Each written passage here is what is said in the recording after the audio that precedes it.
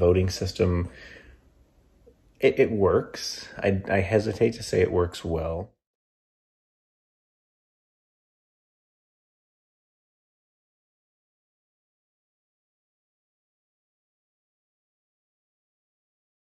I know there's a lot of people that get upset with the amount of time it takes us to count the mail-in ballots because there's millions of them and we can't start counting them until three days beforehand. We are still waiting for the Arizona results on the ballot counting. That alone um, makes me question the legit of the election because I thought by now we would have had some kind of a result, at least for governor and the Senate each election is just getting more deeper and deeper in length and the dates it's taken for the votes to be counted. I'm a strong uh, proponent for mail-in battle mail-in balloting, especially with as our population has grown. It makes it quite difficult. It would be virtually I don't know how you'd handle it if there was no mail-in balloting. It seems that a lot more people are paying attention to the efficiency of the ballot counting machines, uh, the ballot casting machines,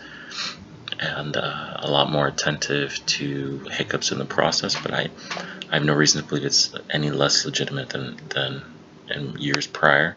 Uh, my wife and I both mailed in uh, our ballots, but I think the states need to ensure some uh, have good rules and to enforce them. I, you know, every year there appears to be a challenge to the mail-in ballots, and for the life of me, I can't figure out what that's all about.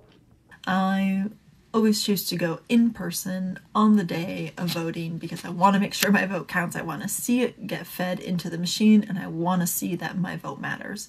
Feel like there were a lot of games played um, with the mail in ballots um, for COVID. There were a lot of duplicates, there were a lot of faults. Um, things that were ballots that were turned in.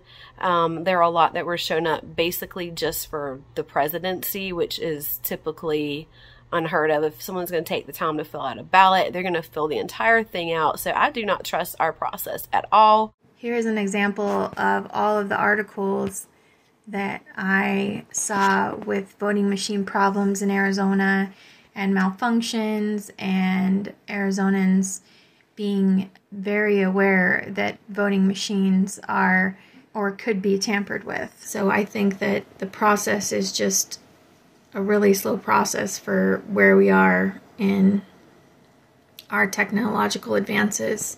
I wish with all this electronics, um, we could just go to electronic voting. I could vote right off my phone.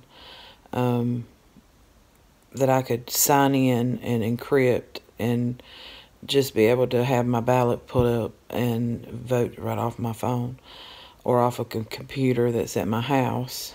It seems so um, sort of 1950s, 1940s, the way we still vote with all this technology. I feel there should be some accountability somewhere, um, some type of way to prove this is who I voted for versus just putting it in a machine and it going where.